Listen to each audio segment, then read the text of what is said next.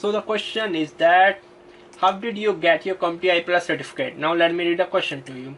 How did you get your CompTIA Plus certificate? Was it program from your school or did you pay it online? If I paid online, how much it costs? How long does it take?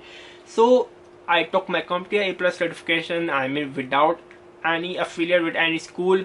Yes, you need to pay online. You need to buy the voucher from CompTIA website I mean or you can buy from Pearson and then you need to add the voucher number while you're booking the exam so here how you book the exam first you need to pick up a first you need to buy a physical voucher you need to I will say search like 10% discount voucher I mean you can find on the internet book the exam with your voucher and then go and then you need to go to a physical location in which country you are you need to find I mean in which I mean CompTIA's uh, testing center they have you need to go to in a physical location and they give you a test there.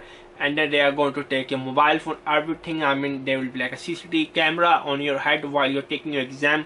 That's how you take I will say I I mean I did the same. I, I first bought a voucher booked the exam. On that day it was like 8 p.m in the night. I was working in the morning so at night i took my exam like fully exhausted and my body was so tired still i passed. Thank to god. Alhamdulillah. So yeah that's how i took it. It was in a physical location you need to buy the voucher online.